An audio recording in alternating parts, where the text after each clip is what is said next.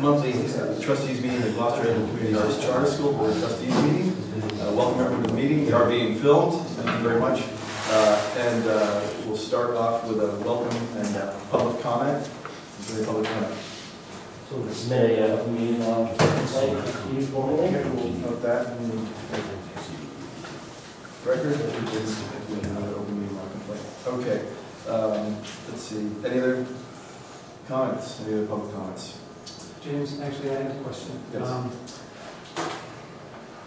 I, I actually wanted to ask a question. I understand we're being filmed today, is that right? Yes. Okay. Um, Is it true that, there's, there's a rumor that uh, the films of this meeting, of these meetings are being edited? Is that true? Pardon? Are the, the videos of these meetings being, being edited? Doctor, forgive me, this is public comment. right? Yeah, exactly. I was just gonna say, I was just gonna say, David, I I think we'll leave, that, that could be a public comment, but a question will be followed later, but it's, it's, it's, in a public comment, there's not supposed to be a, uh, exchange like that. Then the point is, well, is raised, I think in- you would be able to make a comment, but in a public comment, there's not supposed to be a question and answer type of format. Uh-huh. Okay. I think it's a question that we could raise as another one. Do we know? Okay, thanks. Any other comment? All right, well, let's get quickly to review the agenda then. Um, We'll review the agenda quickly. Uh, Item three will be review and approval of the minutes. Item four will be review and- motion to approve updates on the following documents for the Department of Elementary and Secondary Education, enrollment plan and accountability plan. Item four will be uh, the uh, motion in the session to move into negotiation for contract, new contract with the executive director, which will go into executive session. Uh, Item five will be uh, motion to approve the renewal of contract um, if that agreement is reached. And number six, or seven, excuse me, will be to adjourn. So with that, uh, why don't we go to the uh, review and approval of minutes? I know that uh, Claire Higgins, who is our new minute taker, uh, normally would be here today, but she's just not, but she did supply some minutes. Uh, Dave had reviewed the minutes and uh, had sent them around. Has anyone had a chance to see them? Has anyone had a chance to read those minutes? I know they came out very, very late. If uh, there's any questions, uh, we don't have them with us right now. so- They didn't come out late, they came out I'm sorry. I'm sorry, Dave, excuse me, yeah, yesterday morning, Yeah. okay. So, uh, if, uh, we hear a motion to approve those minutes, So moved. okay, the second, Second. any discussion? I think Art had one correction on the, uh, one of the figures in the, in the financial That's right, yes, section. that's right, so there's a I'll comment. correct that. The, Yeah. uh, the tuition reimbursement per uh, student. Why don't we do this, since we don't have that exact figure, why don't we table that, and bring it back so we can actually look at it? No, it's, it's You- okay, it's, it's eleven thousand eight hundred Okay. instead of. Uh, hundred and eighteen thousand, yeah, and they just added a zero, or a one. Right. Oh, thanks, Dave. Yeah. All right, thanks for it. Okay, so we'll make the uh, correction to the minutes to correct the number by moving the decimal left one place. Uh, So we have the right tuition reimbursement figure. So I'd like to move that we accept the minutes with that change. As amended. As amended. Okay. Okay, all in favor? Wait, we need a second I'm on sorry, that. oh, a second on the motion, I'm sorry. Second. Yeah. Second, okay. Discussion on that? No discussion, okay. So we go back to the original motion then, to approve the minutes from uh, July 13th? Wait, do do we need to vote on the amendment, we just vote on the whole thing as amended? Right? That's right. Okay. Yeah. All those in favor? Guys had it. All right, item number four, review and motion to approve updates to the following documents for the Department of Elementary and Secondary Education. Tony, do you want to take us from there? Yeah, the, um, these are fairly minor, as you'll see. Um, On the enrollment policy, uh, it's unchanged from when you reviewed it the last time, with the exception of uh, the submission of proof of residency. And in the previous document, uh, we had indicated that they could submit a utility bill bill and/or official state or community identification card. And uh, the department wrote back and said, well, is it one document or two documents? Are some submitting one, some submitting two? And actually, everyone submits the utility bill. So uh, we decided to make the correction that uh, utility receipt must be submitted as proof of residency. So that is the only change.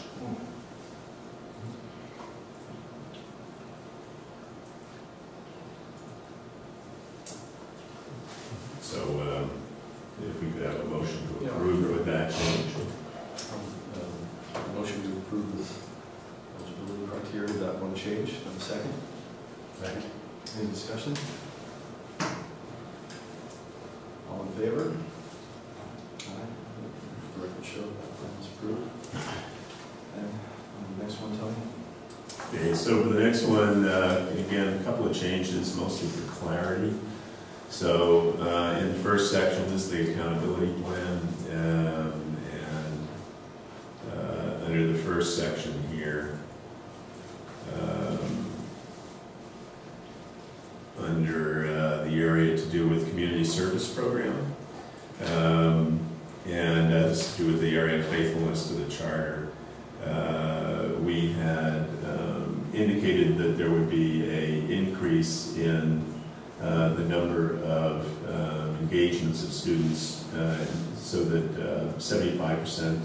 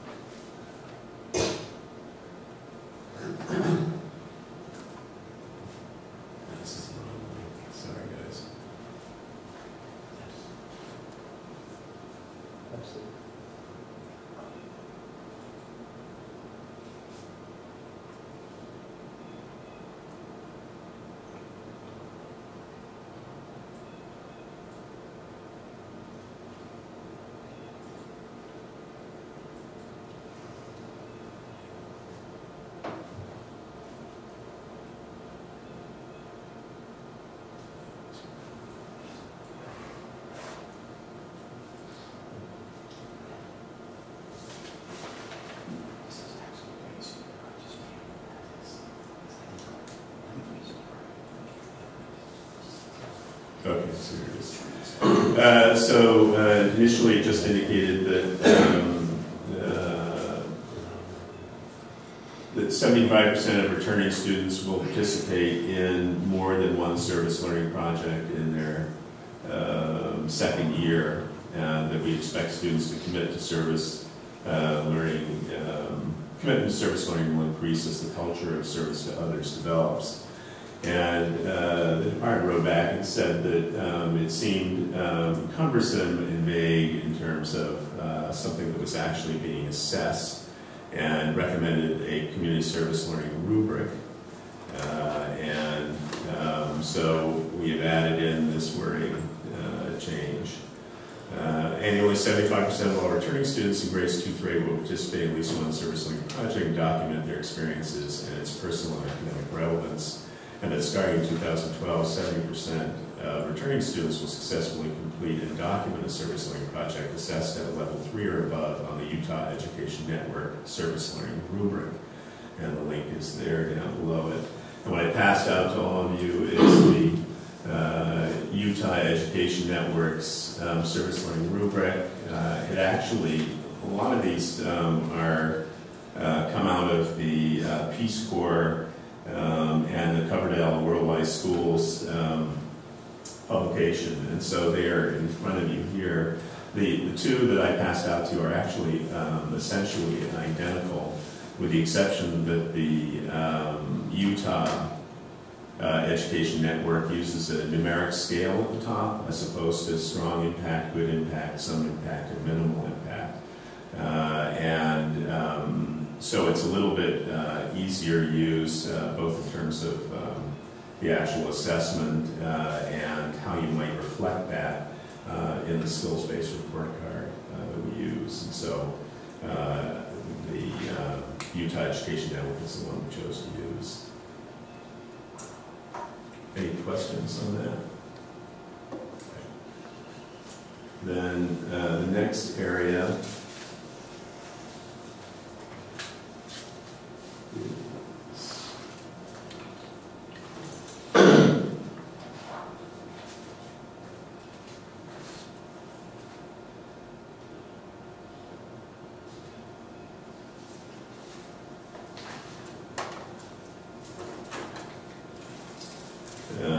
roles and responsibilities, and board oversight.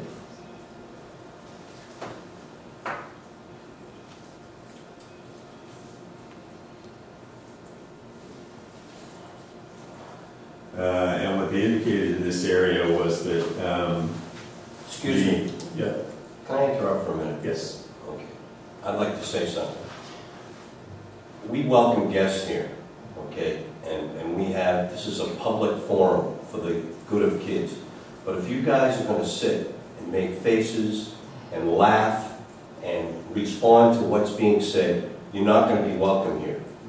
You gotta act like, Would you like to put Adults. that, would you like to put that in writing, you're a public official? no, but I'm gonna Please say that- this, you please have to make sure act that's like in minutes. adults. I- I It's very irritating. With respect, The Mr. Chairman. Mr. Chairman, I- may I I- say I- something? I- I didn't say this, okay, uh, I think it's important to uh, observe decorum at public meetings. Ira, uh, I, I, I think we need to uh, move on with the meeting, and just, let's say the general statement, it's important to have a decorum, a sense of protocol at these meetings. I just want to make it clear that we have not said anything, we have not interrupted the This- meeting, we have not communicated This with you on the way public down. time. I understand that, but he has made a charge out here that's on public record, and we need to make it clear that we are sitting here quietly, respectfully, watching your meeting. Yeah, I think Mr. Yavin needs to go back and read what he's, the Uh, public Again, official. again, this is This not a public public time. school. We're talking about decorum now, I'd like to address that. We need order, so we can get through this meeting, thank you. Understood, thank you. Sorry, Tom. Okay, so just to continue, um, that, uh, the, uh, previous document, um, indicated that, uh, the, um,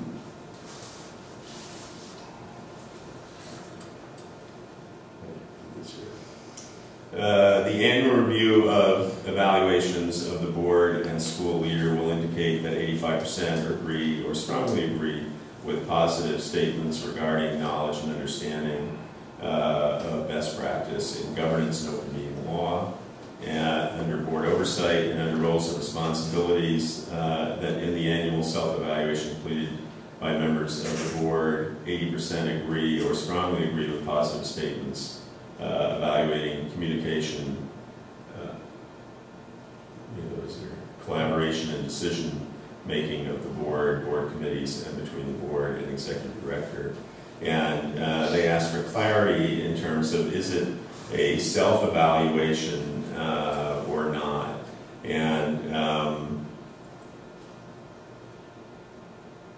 and is the board being evaluated uh, by the executive director or uh, so who is actually conducting the evaluation? So the language is being changed under roles and responsibilities. Uh, It now reads, uh, "The partnership and leadership between the board and the executive director will be evaluated annually.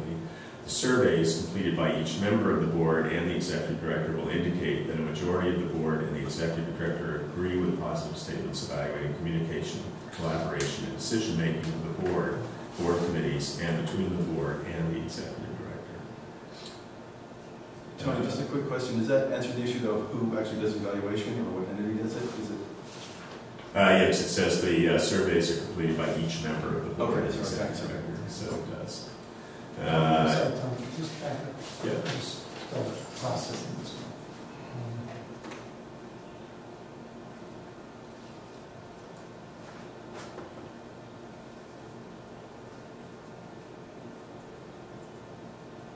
So is that a, that would be a new survey that we'd be putting in place, is that the idea?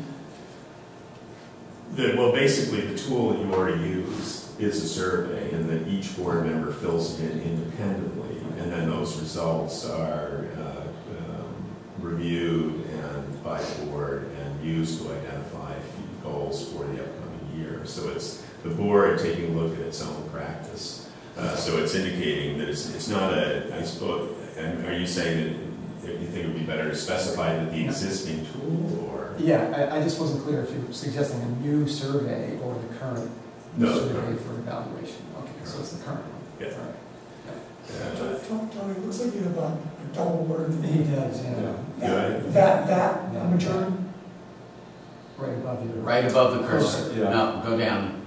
It's like, keep going. Line Two means more down. director will There you indicate that, that. Good catch, thank you. and then there's a, parentheses by the word completed, but I don't see another one. Yeah, you're right. Right. It needs to be, uh, okay? Yeah. Uh, and then, um, did you want to, the, the other one here is, uh, the same under board oversight, the annual year and evaluation completed by board members and the executive director, the majority of the board and executive director agreed that eighty percent of the goals defined by the AP board have been achieved. So as to indicate there again, the, the, there's actually a measure there that eighty percent of those goals have been achieved, that's defined. Just a question, Tony, is there a, a time by which these evaluations have to be done? Is that, is that a required component? Uh, it's not required in the plan, it's part of the plan. I mean, if you want, you can add that in there, but it's not required. It just has to be completed annually. And the date is actually, where the date would be identified, um, James, is that your accountability plan is part of your annual report. So uh, even though some of those measures may not actually come up in that given year, because over the first five years, uh, you have some parts of your accountability plan which don't come up until you're three, for example. Uh, But you have to give an update on all of it as part of your annual report. So that would indicate that sometime uh, in uh, the course of the year prior to that, you've got a completed board uh, evaluation, Which would. which, that's right. Okay, any other further questions? Did you settle the, um, under the academic section, did you settle the criteria for student growth measures and so forth? did. Where, where are we at with that?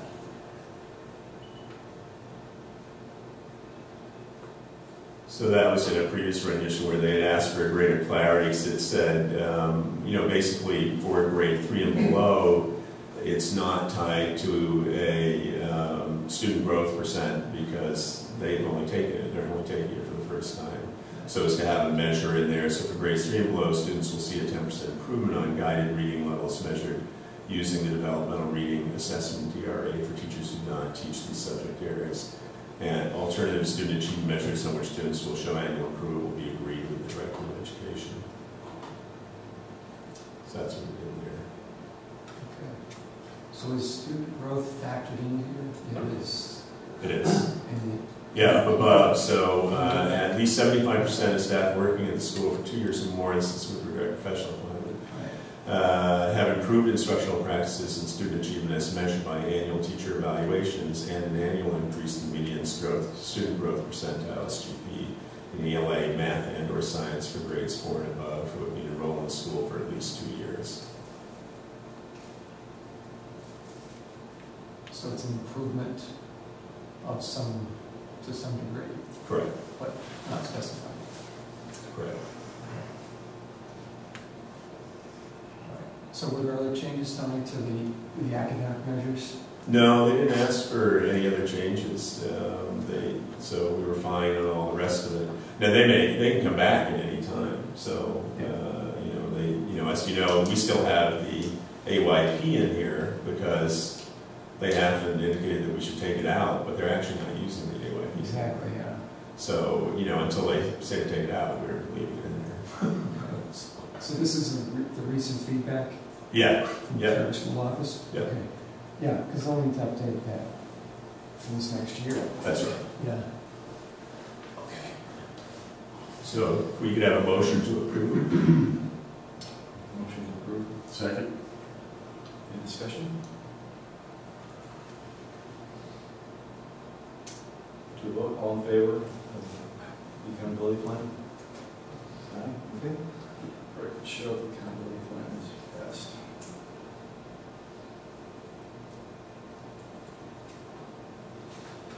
Okay, um, item number five is the uh, session for negotiation of new contract with the executive director. Um, uh, This is where, I'll just read the language here. Uh, uh, Provided we have a, a motion to go to executive session, uh, the board will enter executive session to negotiate renewal of the executive director's contract. Should an agreement be reached on the final contract terms, the board will reconvene in open session to consider a motion to approve the renewal contract for the executive director. Should the agreement not be reached, the board will reconvene in open session to adjourn the meeting. This comes from the language of exception number two, the open meeting laws. Um, This is all, all meetings in public bodies must be open to public, certain topics may be discussed in executive or closed session. Executive session may be called to conduct strategy sessions in preparation for negotiations with non-union personnel or to conduct collective bargaining sessions or contract negotiations with non-union personnel. While a public body may negotiate with non-union personnel, conduct a collective bargaining session with union executive session, even agree on final contract terms in executive session, the public body must vote to approve or ratify the contract or collective bargaining agreement in open session before it can take effect. Uh, Having said that, can I have a motion to uh, go to executive session? Make a motion to go into executive session. Second. Actually, James, this I'm should sorry. be on a- this should be on a roll call vote. Uh, Good point, Dave, thanks for that correction. Um, Okay, so, Discussion. That was the discussion. Okay. no, thank you, Dave, for that. Uh, So let's uh, have a roll call, have have we had a discussion on the motion? Okay, let's go have a roll call vote then to see who uh, votes in favor of um, executive session. I'm sorry, start with Buchanan, yes. Tony Black. Blackman, Yes. Mayor, yes. Bean, Yes. Johnson, yes. Yes. Yes. Yes. Okay, so uh, the motion is passed to go into executive session.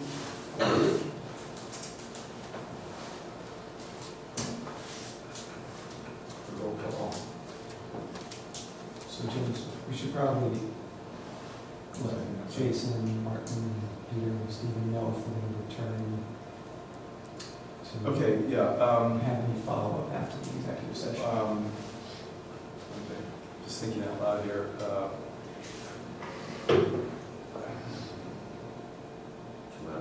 what, I'm just thinking, well, we had ten thirty on the, uh, agenda, so that is the end of the meeting, so why don't s- someone communicate at ten o'clock?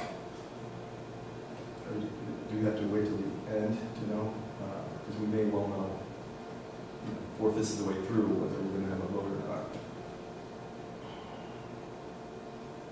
Yeah, I mean, actually, I'm going to make a phone call. You want some help on this? Well, I'll make a phone call after. You have to come out of executive. Oh, we know, we we One way or the know, other. oh, oh, we know we do that, yes. And- Yeah, the question was how do we contact, yeah. Right, We- but we if do you that. have a vote at the end of it is, is, is up to you guys Yeah. based on what you decide, but Duly noted, we, uh, we appreciate the help, but we, we take that into account. We, we, not, we'd always plan to come out of the session, it's just a question of giving notification to people that are waiting here. Um, so. It's whether it's worth your while to come back, that's the point. Oh, it's always worth Okay. All right, well, again, protocol, uh, let's, uh, uh, can I ask a question? Do we have a way to contact you? Uh, You guys have, you guys have my cell phone, correct? uh, We do. Steve, I, Okay, even just a quick message that says, you know, if he'll be wrapping up, I still need to report whether, you know, sort of the motion to close, even if something isn't done, so. And Jason, I can, I have you phone, your phone number as well, so. And you can give us a call back and let us know when you come back in the session. That'd be nice, thank you, appreciate that.